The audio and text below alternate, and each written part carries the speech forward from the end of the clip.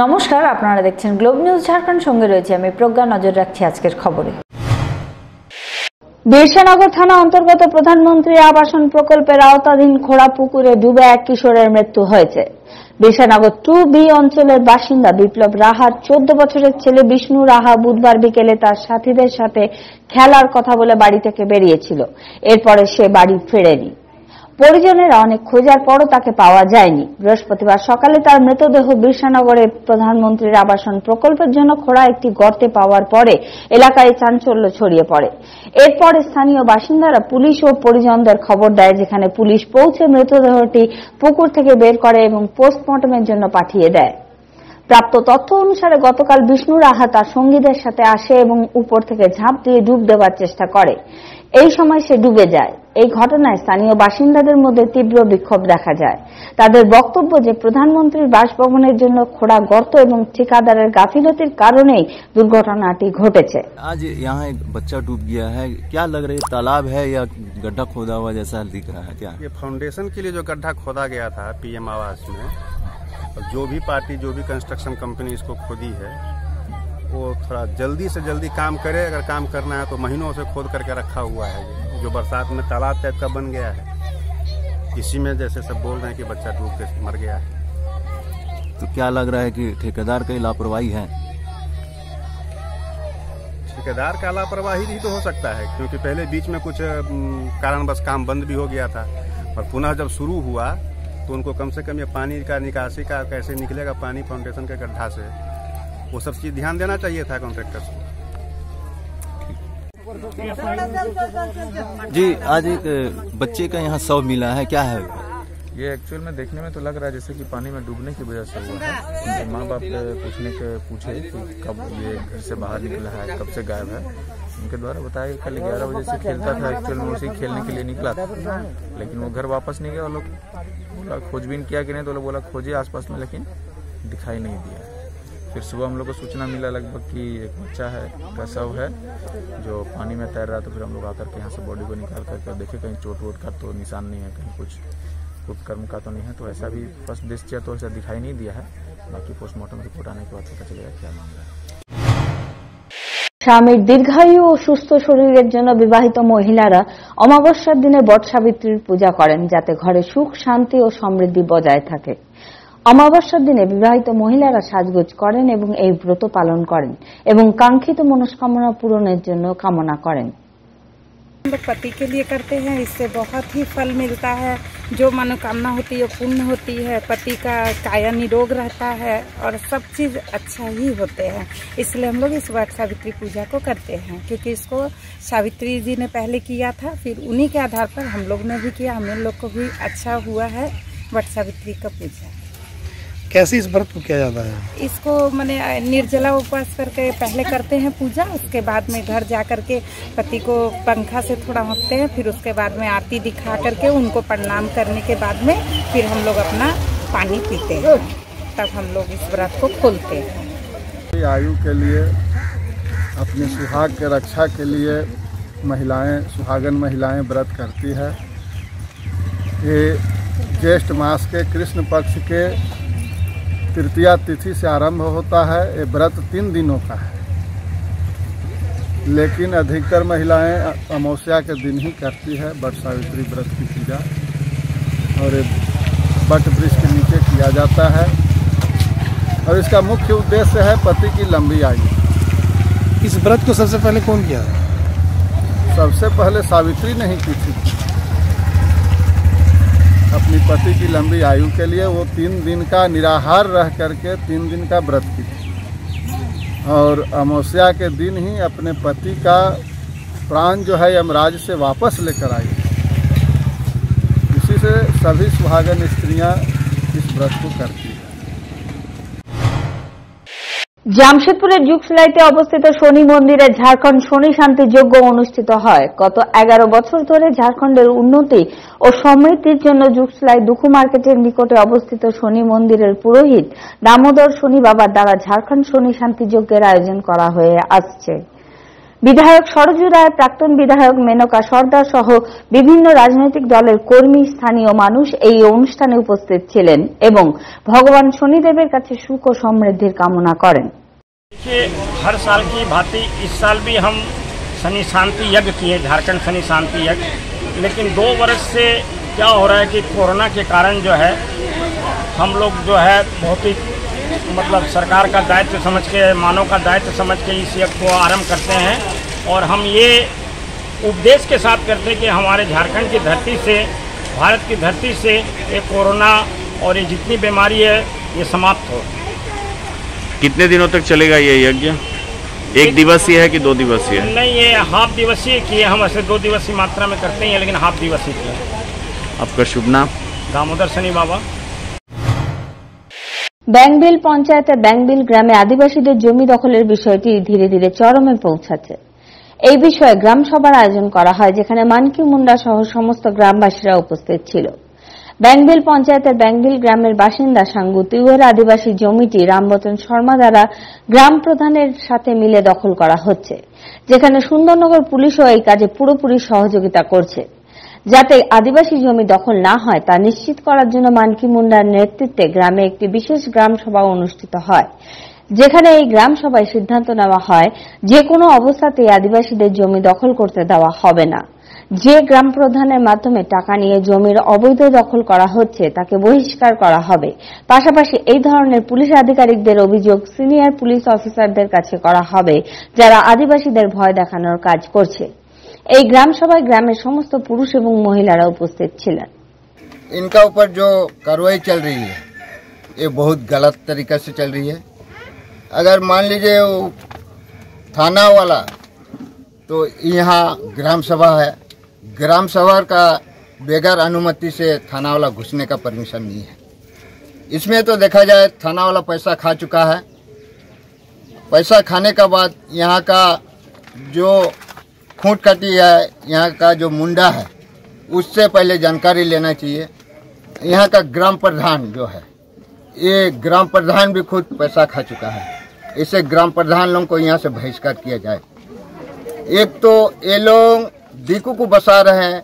पूर्वी सोनभूमि में यहाँ पांचवी अनुसूची क्षेत्र है और पांचवी अनुसूची क्षेत्र में एक वर्जित क्षेत्र है। यहाँ दीकू को घुसने का अलाव नहीं है। প্রাক্তন মুখ্যমন্ত্রী রঘুবর দাস, এডিজে অনুরাগ গুপ্তা এবং প্রাক্তন মুখ্যমন্ত্রীর প্রেস উপদেষ্টা অজয় কুমারের ক্ষেত্রে এখন পিসি অ্যাক্ট যুক্ত করার আবেদনটি ভিজিল্যান্স কোর্টে শুনানি হবে। সকলের বিরুদ্ধে দায়ের করা মামলায় পিসি অ্যাক্টের ধারা যুক্ত করার আবেদনের শুনানি শেষে জুডিশিয়াল ম্যাজিস্ট্রেটের আদালতে ট্রান্সফার করে দেওয়া হয়। পিসি অ্যাক্ট যুক্ত করার সম্বন্ধে আবেদনে রাঁচির সিভিল কোর্টের জুডিশিয়াল ম্যাজিস্ট্রেট চতুর্থ অনুপ কুমারের আদালত এই বিষয়ে আদেশ দিয়েছেন।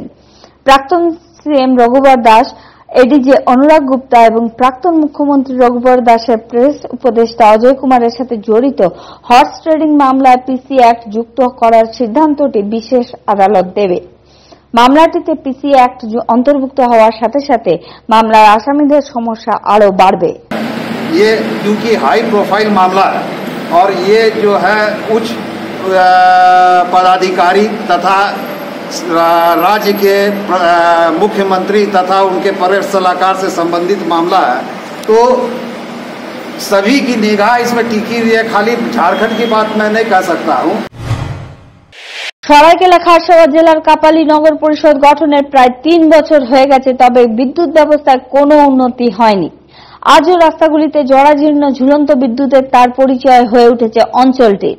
অনেক দুর্ঘটনার পরেও বিদ্যুৎ বিভাগ এই বিষয়টি নিয়ে সচেতন নয়।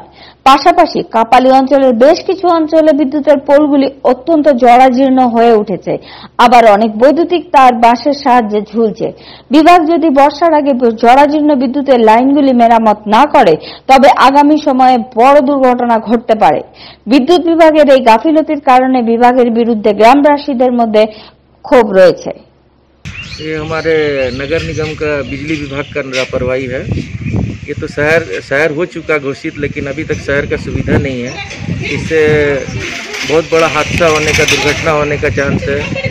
पुल गिर सकता है, तार ज़मीन से गिरा, चला जा रहा है तो हो सकता है कि जानवर उसके चपेट में आ जाए और हादसा हो जाए। बिजली का सुविधा नहीं है, ना रोड का सुविधा सही है, ना आपका। देखिए, तार का हालात सब कितने ख़राब है। जैसे कि देख सकते हैं, ये तार अभी महीना भर पहले आंधी तूफ़ान जो चला था वो साइक्लोन के बीच में ये गिर गया है सर और बिजली डिपार्ट तो कुछ कर रहे नहीं है। आने जाने में बहुत दिक्कत है, अगर बड़ी गाड़ी आ जाती है सर तो एक गाड़ी को होल्ड करना पड़ता है, उसके बाद ही ये गाड़ी जा पाती है। तो प्रशासन तो यहाँ से जाते हैं बट उनका कोई रिएक्शन है नहीं, और जितना जल्द से जल्द अगर ये ठीक हो जाए तो हम लोग के लिए सुविधा है, क्योंकि इसमें जान का खतरा सर एनी टाइम बना रहता है। সদর হাসপাতালে অক্সিজেনের অনিয়মিত প্রাপ্যতা সম্পর্কিত একটি পিআইএল এ শুনানি করে বিচারপতি ডাক্তার রবিরঞ্জন ও বিচারপতি সুজিত নারায়ণ প্রসাদের একটি ডিভিশন বেঞ্চ সদর হাসপাতালে অক্সিজেন স্টোরেজ স্টলের সরঞ্জামগুলি কোথায় পৌঁছেছে তা রাজ্য সরকারের কাছে জানতে চেয়েছে। জবাবে রাজ্য সরকার আদালতকে আশ্বস্ত করেছে যে পুনে থেকে অক্সিজেন স্টল ইকুইপমেন্ট বুক করা হয়েছে এবং তা এক সপ্তাহের মধ্যে সদর হাসপাতালে ইনস্টল করা হবে। মামলার পরবর্তী শুনানি হবে সতেরোই জুন सदर अस्पताल में निर्बाध रूप से ऑक्सीजन की व्यवस्था किए जाने को लेकर एक याचिका पर सुनवाई करते हुए माननीय मुख्य न्यायमूर्ति डॉक्टर रवि रंजन एवं न्यायमूर्ति सुजीत नारायण प्रसाद की खंडपीठ ने जानना चाहा राज्य सरकार से कि क्या प्रगति है राज्य सरकार ने आश्वस्त किया है कि जो ऑक्सीजन टैंकर स्टोरेज को इंस्टॉल करने के मटेरियल्स हैं, वो बीते दिनों पूना से बुकड हो चुके हैं और एक सप्ताह के भीतर भीतर रांची पहुंचकर उसके इंस्टॉल होने की संभावना है। Telco Mother Teresa welfare trust মামলায় জেএমএম এর বরিষ্ঠ নেতা সহ বিধায়ক রামদাস সোরেন বলেছেন, যারা দোষী তাদের শাস্তি হওয়া উচিত। টেলকো মাদার টেরেসা ওয়েলফেয়ার ট্রাস্টের মামলাটি প্রায় প্রকাশ্যে আসে, তাই সত্যের জন্য তদন্ত প্রয়োজন। এমনকি কয়েক বছর আগেও কিছু এই ধরনের বিষয়গুলি সামনে এসেছিল, যা ধামাচাপা দেওয়া হয়েছে। বর্তমানে পুরোপুরি তদন্তের প্রয়োজন সামাজিক সংগঠন সহ অনেক লোক নাগারে ব্যবস্থা নেওয়ার দাবি জানাচ্ছে সম্প্রতি এই ট্রাস্টের পরিচালক হরপাল সিং থাপর এবং তার স্ত্রী পুষ্পা রানী তির্কির বিরুদ্ধে গুরুতর অভিযোগ করেছেন দুইজন নাবালিকা যুবতী पूरा हम अ, गहराई से नहीं जानते हैं हम केवल पेपर में देखे हैं अ, लेकिन ये बीच बीच में आते रहता है। ये ये मामला जो है ना बीच बीच में आते रहता है। सच्चाई के लिए ये जाँच ज़रूरी है। इसके एक दो साल पहले भी एक ऐसी कुछ बातें आई थी तो उस पर वो बाद में मिट्टी मैंने उसको ये कर दिया गया। दीपापति कर दिया गया। अच्छा। आज यहाँ पूर्ण रूप से जनका जाँच की ज़रूरत है और जो भी हो